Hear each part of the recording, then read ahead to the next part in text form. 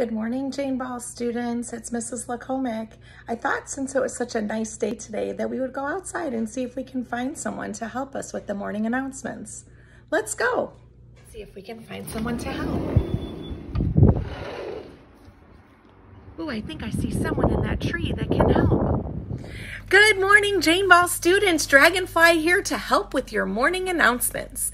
Today is Monday, April 27th, 2020. Today is an e-learning day for you.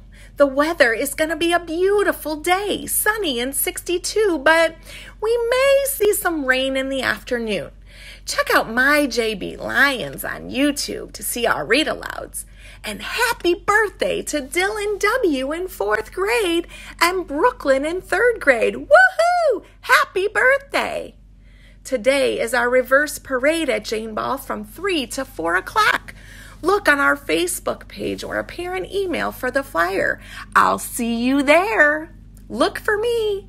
Remember to be respectful, responsible, caring, and safe because that's the lion way to be.